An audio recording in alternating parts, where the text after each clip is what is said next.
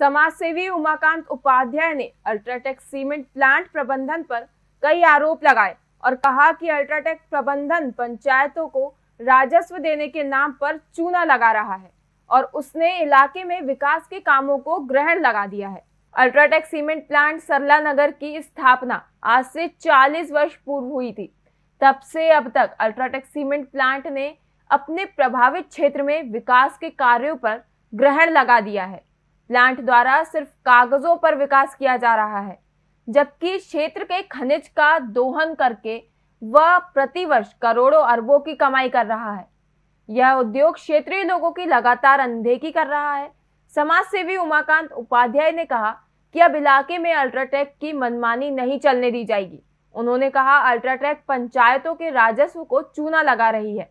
CSR मद का अधिकांश काम भी कागजों में हो रहा है।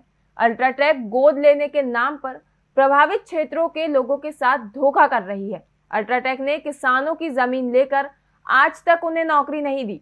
बेरोजगारी की मार झेल रहे स्थानीय युवा काम न मिलने की वजह से अन्य प्रदेश में पलायन कर रहे हैं। मेरे साथ में पधारे चोपड़ा सरपंच, भाई बेलदारा सरपंच, अभी सोमवारी हम लोग अल्ट्राटेक के मत जो माध्यम से आए दिन उत्पाद होते जा रहे हैं, दिन पे दिन समस्या बढ़ती जा रही है। उस विषय को लेकर, क्षेत्रीय समस्याओं को लेकर आज हम प्रेस कॉन्फ्रेंस रख रहे हैं।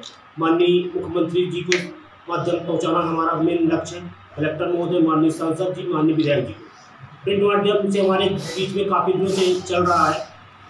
लेकिन आज तक उसका निराकरण नहीं हुआ। आज हम बात हो रहे हैं इस अग्रह कोई बड़ी योजना को पार करने के लिए। हमारी मुख्य मांगे हैं अल्ट्राटेक सीमेंट में सी एस आर के मत के तहत जो राशि सार्वजनिक की जाए, हमारे क्षेत्र में कितना सी एस आर मत के तहत कर, खर्च होता है, कहाँ कहाँ होता है, उसको सार्वजनिक करें। पास में लगा हुआ के जी एस प्लांट है, वो भी सी एस आर की मत राशि सूची जारी करें, क्या क्या प्लांट में सी एस आर के तहत खर्च किए जाते हैं, कहाँ किए जाते हैं। दूसरा सबसे बड़ा प्रभावित क्षेत्र है, डलहा में आए दिन कार्गा के केस दिन पे दिन बढ़ते जा रहे हैं। और कोई अल्ट्राटेक के माध्यम से कोई भी कर्मचारी या अधिकारी वहाँ नहीं जाता देख रेख नहीं करता, दिन पे दिन केस बढ़ रहे हैं। ये आसपास के क्षेत्र में भी प्रभावित करेंगे। इसके लिए हम प्रबंधक महोदय से अपील करते हैं कि इसका निराकरण करें, क्षेत्र में शिविर लगवाया जाए कहाँ से पानी दूषित हमारे क्षेत्र में बह रहा है कहाँ से आ रहा है, उसका निराकरण करें।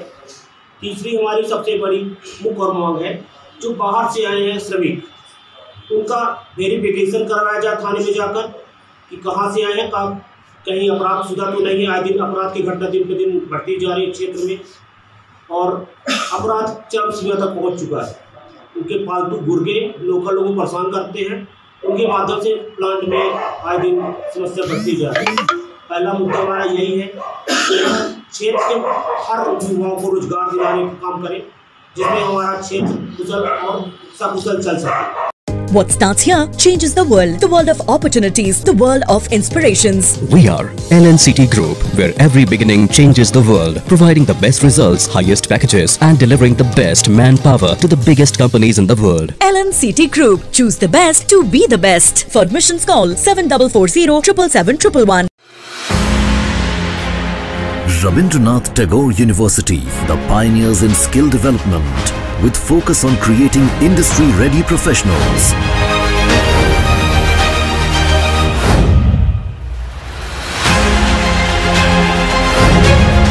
Join India's premier skill-based university, Rabindranath Tagore University.